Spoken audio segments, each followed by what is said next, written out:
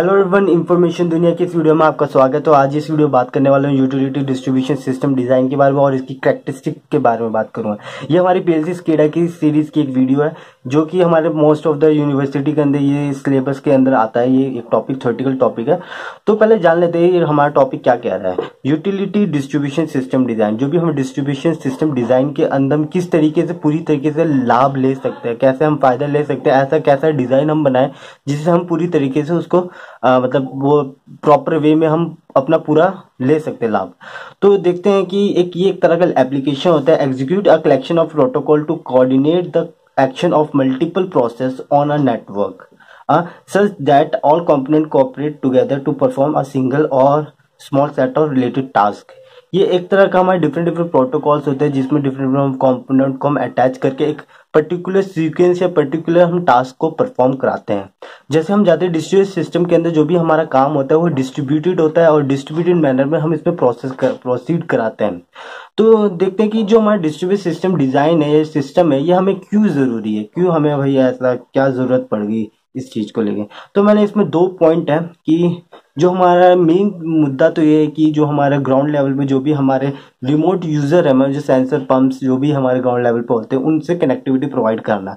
तो ये दो तरीके से दो पॉइंट है ओपन या स्केल स्केलेबल वे जो हमारे डिस्ट्रीब्यूशन में दो फ़ायदे हैं which means each component continuously open to interaction with other component जो हमारे डिस्ट्रीब्यूट सिस्टम के अंदर जो भी जितने भी हमारे काम हो रहे हैं, वो एक दूसरे इंटरेक्ट होते हैं और एक मतलब रियल टाइम में हमें वो मिलता रहता है डेटा और हम परफॉर्म करा सकते हैं टास्क को। स्केबल स्केलेबल वे मतलब आप जानते हो कि कई कई कबार हमारे जो मैन्युफैक्चरिंग के अंदर हम दू मतलब कई बार हमें मॉडिफिकेशन की ज़रूरत पड़ जाती है नंबर ऑफ़ यूज़र्स बढ़ाने पड़ते हैं मतलब कोई डिवाइसेस को चेंज करना होता है, वो उसमें डिस्ट्रीब्यूट सिस्टम बहुत इजिलेबल हो जाता है, क्योंकि इसमें बहुत डिस्ट्रीब्यूटेड हमारा काम और टास्क को परफॉर्म कर रखा होता है। तो system alter to accommodate changes in number of user resources and computing entities easily modify as per the requirement सीधी से मतलब है। तो distributed system can be much larger and more powerful give the combination of capabilities of the distribution distributed component तो हम जानते हैं कि जो हमारा डिस्ट्रीब्यूट सिस्टम है, बहुत ज़्यादा कॉम्प्लिकेटेड होता है, बहुत ज़्यादा पावरफुल होता है हमारा ऑटोमेशन इंडस्ट्री के जो हम यूज़ करते हैं। तो ये मतलब इतना कॉम्प्लिकेटेड होने के बाद भी हम इसे इजीली हम यूज़ कैसे कर पा रहे हो? हमें फुल रिलायबल वे में हमें आउटपुट या हमें जैसा हमें नीड है, उस तरीके से परफॉर्म कैसे कर रहा है? Then the combination of standalone system but it's not easy for a distribute system to be useful it must be reliable this is a difficult goal to achieve by because of the complexity of the interaction between running component तो हम जानते हैं कि ये हमारा जो distributed system होता है, ये एक standalone standalone system standalone system की जो अपने में ही हो। मतलब मान लीजिए कि मेरे घर पे एक सिस्टम है, वो अपने में ही काम कर रहा है, मुझे बाहर की दुनिया से कोई लेना देना नहीं, वो उसके बाद खुद का ब्रेन है, खुद की चीज़ है, और खुद ब खुद परफॉर्म कर रहा है। स्टैंड लॉन सिस्टम वो है, जो कि हम पुराने टाइम में यूज़ करते थे, आज भी कॉम्बिनेशन हमारा हार्डवेयर सॉफ्टवेयर सब कॉम्बिनेशन करके जो फुल वे में हम ज़्यादा ज़्यादा एफिशिएंट वे में काम कर सकते हो हम सब सिस्टम को ऐड कर रखा है। और डिफरेंट में आप देख सकते हैं सीमेंस के अंदर और और भी कंपनीज़ हैं जो भी हमें प्रोवाइड करती हैं सब चीज़। तो but but it's not easy for easy for a distribution system to be useful it must be reliable this is difficult goal to achieve because of the complexity of the interaction between the running component तो आगे देखते हैं, हम इस characteristic देखते हैं। To be truly reliable our distributed system must have the following character अगर आप कहते हो कि हमारा डिस्ट्रीब्यूटेड सिस्टम रिलायबल है, बहुत ज़्यादा मतलब भरोसेमंद है तो उसकी क्या क्या क्वालिटी से या उसे हम कहते थे कौन कौन से इसमें वो है, चीज़ें होनी चाहिए जिससे वो सिस्टम को हम रिलायबल बना सकते हैं। हाँ? जैसे कहा था कि बहुत मुश्किल है। तो देखते हैं, मैंने कुछ पॉइंट्स हैं जो कि एग्ज़ाम पॉइंट ऑफ़ व्यू से भी बहुत ज़्यादा इंपॉर्टेंट और मैंने शॉर्टेज वे में मैंने कोशिश किया जल्दी जल्दी हो जाए। तो ये फॉल्ट टॉलरेंट होता है। Fast recover without any incorrect action मतलब कोई भी हमारा फॉल्ट होता है फटाफट मैंने मिली सेकेंड में मतलब उस सर, कोई सर्किट ब्रेकर पावर सिस्टम में बात करें तो जल्दी से ब्रेक हो जाता है या तो हमारे ग्राउंड लोड में लेवल पे कोई डिस्कनेक्शन प्रोसेस होता है कोई भी फॉल्ट आता है तो फटाफट से रिजॉल्व करने की कोशिश करता है और इंडिकेट करता है हमारे सिस्टम पे। तो हाईली अवेलेबल होता है ये कहते हैं ये क्या होता है, जैसे कि पूरा सिस्टम ठप नहीं होता। है ये दिखाता है कि हाँ यार, ऐसा कौन सा वे कौन सा ज़रिया है जिससे हम सिस्टम को रिजॉल्व कर सकते हैं फटाफट, और अगर कोई फॉल्ट आता है तो। Resume without shut down all system also restore fault recoverable failed field component can restore and rejoin the system मान लीजिए कोई भी हमारा सिस्टम है जिसके अंदर कोई भी एक कॉम्पोनेंट खराब होता है तो वो तो फटाफट उसमें बता देगा ये सिस्टम खराब है और हम उसी टाइम दूसरे लगा के जल्दी से वो रीजॉइन कर सकते हो हमारे सिस्टम को प्रॉपरली फ्लो काम करने में ला सकता है। तो कंसिस्टेंस होता है। Always work if have some problem in system also act like system non distributed ये कंसिस्टेंट कि हमेशा ही काम करता रहता है मतलब कोई दिक्कत भी आता है इंडिकेशन करके, वो कोशिश करता है कि सिस्टम चलता रहे और हमें जो हमारी जो प्रोडक्शन लाइन की बात करें मैन्युफैक्चरिंग की बात करें कंट्रोलिंग की बात करें, वो काम होता रहे, अगर कोई दिक्कत आती भी है तो।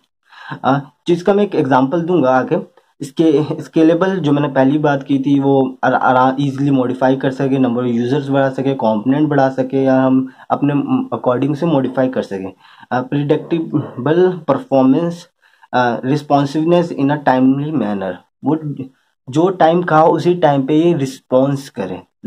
सिक्योर हो heating failure नोटिफिक halting for failure sorry halting for failure company simply stop to secure due to fault और विदाउट एनी रीजन एंड जब भी कई कई बार क्या होता है, हम जानते हैं कि यार जो जो हमारा कॉम्पोनेंट कई बार ऐसा कुछ एबनॉर्मल एक्टिविटी हो जाती है कि वो कॉम्पोनेंट नहीं चल रहा। बाई चांस कुछ भी कह सकते हैं कैसा भी फॉल्ट आके वो कॉम्पोनेंट यूज़ नहीं है जिससे हमारा सिस्टम ठप हो रहा है, कुछ बंद हो रहा है। तो उसी टाइम वो नोटिफिकेशन दे देगा हमारे वहाँ पे जो मेन या स्केडा सिस्टम जो डिस्ट्रीब्यूट सिस्टम है।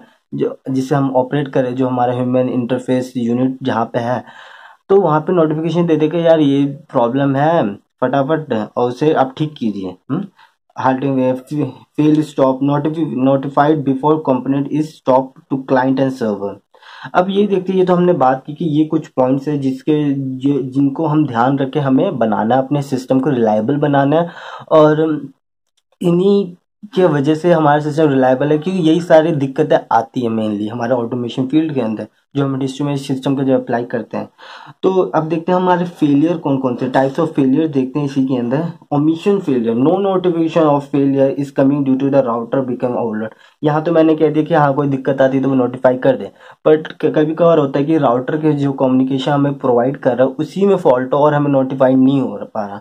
उस चीज़ को भी देख के चलना है। Network failure network link break हो रहा है, या हम कह सकते हैं जो हमारा बैंड विथ प्रॉब्लम या कोई से भी जो हमारा कम्युनिकेशन प्रॉब्लम वो आ रहा है। अब देखते हैं network portion failure network cut ही गया।